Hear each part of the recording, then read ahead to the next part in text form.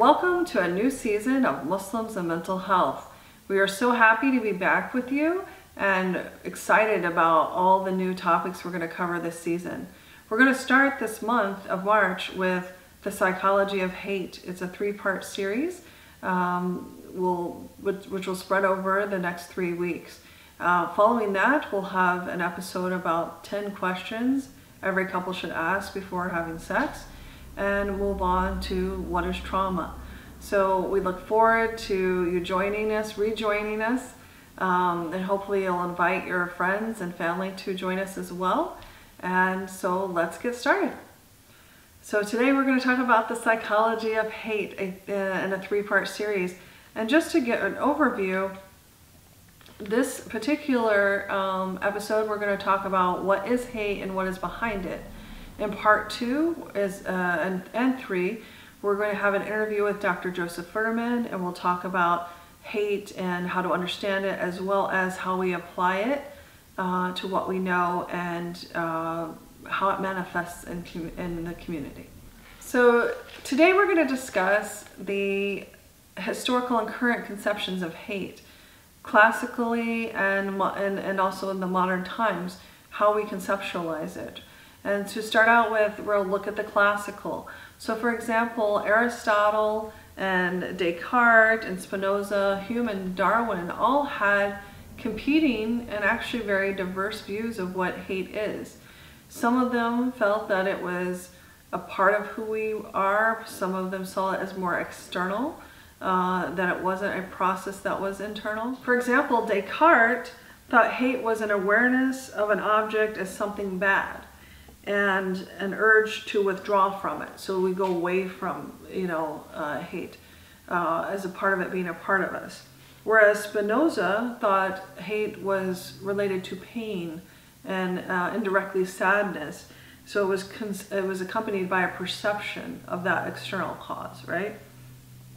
Aristotle distinguished between it as being thought it could be pain-free. So moving forward to the modern understandings of what hate has been conceptualized as, Allport envisioned that hatred was a deep emotion with like aggressive impulses. Uh, Fromm moved on uh, a little bit later to the notion that hate had two parts. One was a rational aspect and the other one was a character um, conditional hate. And so the rational basis was like someone swindled you out of a fortune or something, whereas the character conditioned hate uh, included things more like targeted groups of people. And so this is where we would get like, for example, our modern uh, whole groups of ethnic, ethnicities or religious groups like Muslims are hated um, came from that character conditional type of hate. But then we had a little bit later Sternberg, who had developed the tripartite of love, also developed his duplex theory of hate. Within that duplex theory of hate were five concepts. Um, one, that hate is very closely related to uh, the psychology of love, so that tripartite idea. Um, another is that hate is neither the opposite of love nor the absence of love. And three would be that hate, like love, has its origins in stories that characterize the target of the emotion. And we'll get into in a minute what some of those characters look like uh, that are uh, the underpinnings of these stories. And then four, that hate, like love, can be characterized in that triangular structure that we just mentioned um, that are generated by the stories, right? And then five, that hate is a major precursor for any terrorist acts. Um, so those are kind of interesting ideas of the five, you know, underlining uh, ideas of his duplex theory of hate. In addition, uh, Sternberg asserted that there were three components of hate, namely that the negation of intimacy, so distancing, uh, that hate in itself by its existence repulses people and pushes people away. Uh, also that there's passion and hate. So you go from uh, that what what uh, fuels the hatred is anger and fear, right? So it's like you have you get afraid of something, you get angry. We know anger to like help us with you know providing boundary, but then something transgresses that, so then you become you know have hatred. Um, and then there's decision and commitment and hate that you have to be pretty committed to hate somebody. Um, and so in that, there becomes with that commitment toward the hatred a devaluation and a diminution of another, right? Through contempt. So um, those are his three, that's the triangular theory, the structure. Uh, again, that included distancing, uh, like a negation of intimacy, the combination of the fear and anger, which is the passionate part, and then the decision commitment part, which is the devaluation and diminution of um, through contempt of another. Within that, then he further develops a taxonomy of hate, citing that there are many different types of hate. And so, just to give you some samplings of what he, um, you know, divided it down into, uh, he described, for example, cool hate, like a cold type of hate, which is like disgust. So somebody, um, and this goes back to that sort of negation of the intimacy, right? Uh, but that it's characterized uh, by disgust toward groups of people or an individual. So one of the things that Sternberg created on his duplex theory of hate that I mentioned before is that that this applies towards both individuals and groups. And this was this departed from where Fromm was, which when he talked about the rational hate and the um, character conditional hate, he saw one as more individual and one more group, right? Uh, with Sternberg, he sees uh, the duplex theory applying to both those uh, who are individuals and of groups. So the second ty type of hate that Sternberg describes is the hot hate or the passionate hate, right? And this is when um, a person feels a fear toward like a threat, for example, or maybe perhaps uh, their fight or flight, that limbic system kicks in, they have that fight or flight, or if they've been previously traumatized, we see people freeze in this type of, of situation. So it could be fight, flight, or freeze. Uh, and then the third type is a cold hate, which is that third part of that triangle, the devaluation part where there's a sense and thoughts thoughts of unworthiness and treatment uh, to in that direction toward a person or a targeted group. The fourth type that he recognizes is called a boiling hate, and this is a revulsion or disgust. It's it's a combination of um, the, the negation of intimacy plus the anger and fear and the uh, passionate part. And this is where somebody could take level the hate to the level of dehumanizing another. Um, so we're seeing an escalation in here and sort of the, the value of the hatred. We go from disgust to now a devaluation. Um, so we see that level of hate becoming stronger. Then number five, he has a simmering hate, which is a loathing. It's he he calls this a disgust of the negation of intimacy plus the devaluation of the decision of commitment. And then six, we have a seething hate. sounds just like it is, where it's seething. Uh, it's passionate plus a commitment to it. And it's characterized by like reviling um, a targeted individual or group. And then lastly, uh, in his taxonomy, we have the seventh type, which he calls a burning hate. And this burning hate is characterized by annihilating another. Um, so we can kind of see with his taxonomy, there's like, you know, an increasing, from one to seven, there's an increasing um, sort of burning to this hate, uh, that it becomes more and more aggressive and more um, powerful as we get down to the, the, the last one, the seething, the burning hate rather, uh, which is very powerful because it's seeking to annihilate another person. Um, it has action so Sternberg goes on to create danger levels of hate, um, and this perhaps may have influenced our current, you know, TSA level threats, right? Because it looks at uh, danger levels from a zero to three level. Um, of course, we have more than that in our airports, but uh, the idea was that with certain conditions, we have a higher level of hatred. So one of the ideas that Sternberg emphasized in terms of hate was the idea that it comes from stories that are created, uh, particularly propaganda. And there are three parts to this going along with his tripartite theory, right? So the first part emphasizes that that negation of intimacy through the propaganda and the story. And then the second part relates to the function of a generation of passion.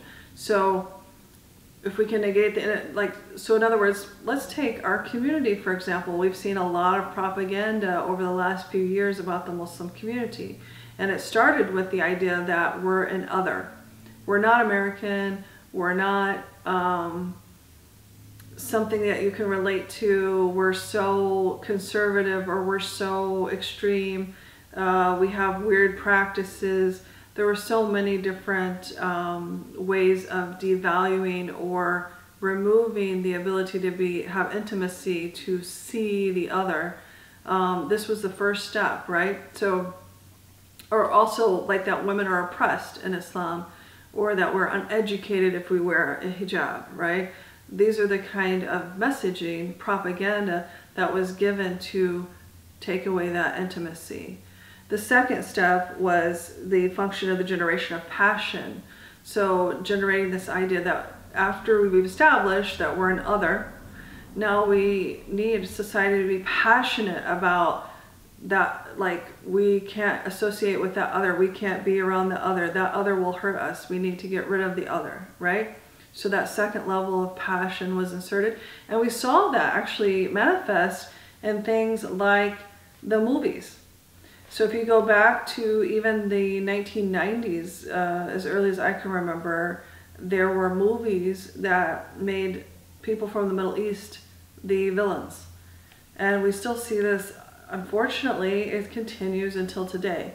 We've seen um, people from the Middle East, people from South Asia, uh, and East Asia, predominantly Muslim uh, um, populated countries, uh, being made into the villain. Until recently, we saw a shift in that with the North Koreans because now they've become somewhat of a new enemy. Um, however, before that, and, and continuing, actually, we have seen Muslims consistently for the last 20, 30 years be filmed as the enemy.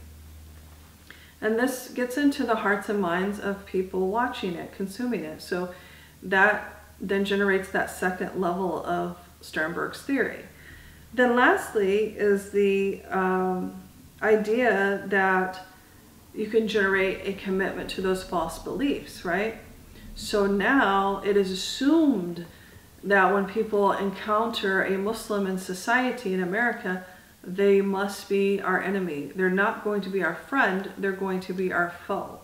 And now that you have generated these ideas and you now are moving to commitment it makes it easy for people to support things like let's go kill 600,000 people in Iraq.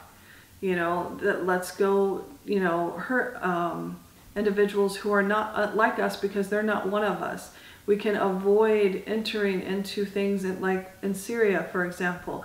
Why? Because we don't know those people. They're not one of us. Forgetting the fact that there are not only Muslims in Syria, but Christians as well, and Jewish people, and all kinds of people who are in Syria, as well as Iraq, as well as the Middle East in general. So, uh, as you know, and, and interesting enough, that's another falsehood that was perpetrated, right? In the sense that all Muslims are from the Middle East. In fact, they're not. Uh, that's one of the you know smaller populations. We have other countries and areas of the world where there are larger populations uh, of Muslims within that society.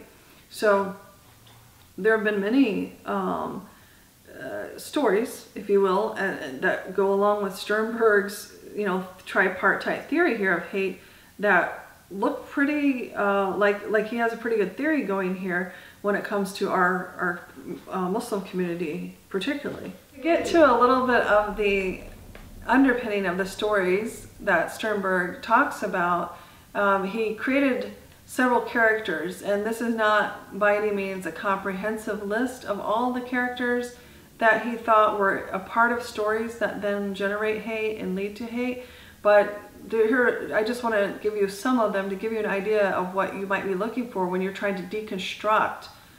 You know, when you see something that looks like propaganda, this will help you deconstruct the plot of the propaganda by knowing the characters involved, right? So some of them are the stranger, right? The other. Uh, being able to convince you that you can't uh, interact with this person, that they're so, they're different and in a strange way, so you can't really find a way to relate to them. The impure person or the contaminated person. Um, we saw this uh, back in the in the 90s with people who got diagnosed with HIV and AIDS, right? Got to stay away from them because at the time they were using the propaganda that you could get it off the toilet seats, right? So there was a real danger, a real threat, and therefore, you know, uh, people started hating them to the point where they couldn't even get health care in hospitals. Um, they also demonized it and said that it was a gay problem when in point of fact it was affecting society at large. Um, and now we see in 2017 that some of the largest groups affected by this epidemic are teenagers in their late teens and senior citizens. So it has nothing to do with whether you're LGBT. Uh, it has to do with, you know, how well you take care of your practices of, of, of sex, right? Um, the controller, the person who's trying to control others and control the world, is another character. The faceless foe, so the person that you can't really see, um, an enemy of God. So if I can convince you that the Muslims' idea of God is not our God, it's some other God, and convince you that, that we don't have anything in common, that we're not worshiping the same God, then I've got you uh, as an enemy of God somebody who's morally bankrupt, a purveyor, a purveyor of death, right? Somebody, people have a lot of difficulty dealing with their existential issues. So to give you a sense that this person could cause you death or harm, you want to stay away from them. And you might even develop hatred toward them because you don't want to deal with that. Um, the barbarian, somebody who's greedy, the criminal, um, the torturer, the seducer, right? It's another one that uh, sort of gets in under under the um, wire typically because people don't think of that one. But the seducer is is is somebody who, despite being uh, loathsome, can seduce women, for example, right? Um, and, and, and more like in 2017 and the young people we hear them calling them player player right these are people that um, despite their bad behavior can continue to attract uh, people into their their ways, their ways of behavior. Somebody who's mean to animals or a power monger, uh, the subtle infiltrator, the comic character. All of these are examples of the kind of characters that Sternberg asserts are underpinnings of the stories that create hate. The main idea is that if we can deconstruct the stories or the propaganda we can start to get to the core of why something is hated. And then once we are, we are aware of the hatred, then we can start addressing it directly. And how do we address that directly? By starting to deconstruct stereotypes, implicit bias, looking at why somebody sees another as an other, by getting together with people and getting to know one another, being seen by each other. Um, these are the, the ways and methods that, that we can impart to start addressing hatred. In our next episode, we are going to be looking uh, more directly at, these, at these issues with Dr. Joseph Futterman. Um, today, I just wanted to give you an overview of what is in the literature of the psychology of hate, both classically and in more modern times. So again, remember, we're looking all the way back to Aristotle and all the way forward to Sternberg being the most widely understood and known uh, modern theorist around the psychology of hate. So as we conclude, I ask you and invite you to keep an open mind about how you conceptualize hate. Some people see hatred as the most understudied emotion that exists, but other people see it as more of a complex concept and don't even relate it to emotion. So keep an open mind. We're going to have two more parts to this series where we will be talking with Dr. Joseph Futterman, who may be able to help guide you in your own understanding and development of understanding of what hatred is. Thank you for joining us for this first part of the three part series of the psychology of hate. We're so glad that uh, to start off our new season, and we look forward to seeing you again. If you have any comments, questions, or concern, please contact us at nafshealertherapy at gmail.com. That's N A F S H E A L E R T H E R A P Y at gmail.com.